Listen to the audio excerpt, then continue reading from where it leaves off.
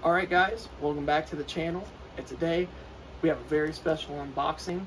It is a mask that I have waited for for quite some time, at least to become available, um, because these pieces are not made anymore. It is a Slipknot mask, and I'll get into it in a second. But first, I'd like to say thank you to Jared Smalley, Jared Smalley Tattoos, over on Facebook and Instagram. They sold me this piece at a bargain of a price, pretty much. And uh, no one scooped this up, so I was just like, okay, I need to get on this. So, again, thank you to Jared Smalley for selling me this piece. It's one of my favorite pieces ever in Slipknot history. So, without further ado, just kind of want to make this a short and sweet video. And also, it's kind of late, so let's just get right into it. So again, this is a piece that I have awaited for quite some time. And not saying that like it took long to ship or that like he messed up or anything. I'm just more so saying that since these are not made anymore, they're hard to find at such a good price that I got it for. So, let's hop right on into it. Alrighty. So this is what it looks like so far. Don't think there's anything else in the bag. This is a secondhand piece, and it is one of the better sculpts. You can see it poking out right there. Get this bag a tug, and boom. So, as you can see, this is a DBS Iowa Craig. If you don't know who DBS is, he's a retired Slipknot mask creator. He still makes masks, so if you want to check out his Instagram, um, it's just Drop Bear Studio Masks. Uh, but he used to make these and sell these. He had a website for them. Ended up getting taken down.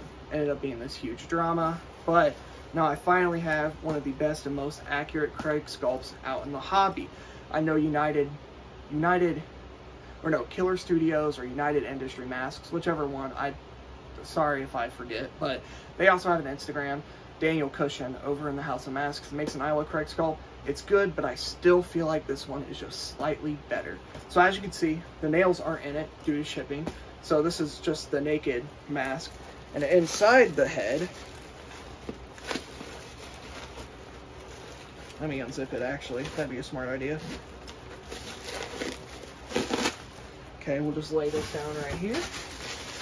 Inside the head, oh goody, I'm getting my self-titled Craig flashback.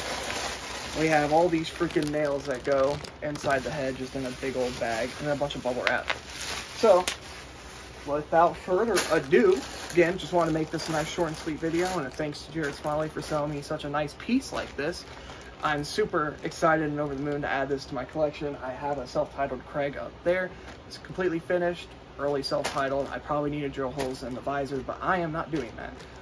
so I'm gonna start putting the nails in and then just show you guys the whole mask, it worn if I can fit in it. And yep, that'll be it. So thank you for watching and stay tuned for the nice worn look that it has. Alright guys, I'm just doing a little bit of a voiceover uh, just to kind of explain what's going on because I couldn't exactly talk in the mask as you could tell because I could barely fit my head in it. Um, I couldn't zip the mask down and I had this hood on because if I could they would get caught in my hair. Uh, and I'm headbanging right here and I'm just letting you guys know that I it was a miracle I actually put this and got this fitted on my head like that.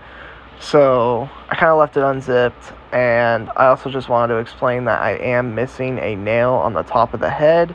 I found it, it was in the box, but I literally was just not paying attention because it was late at night. So enjoy the uh, rest of the content on the channel, and thanks for watching.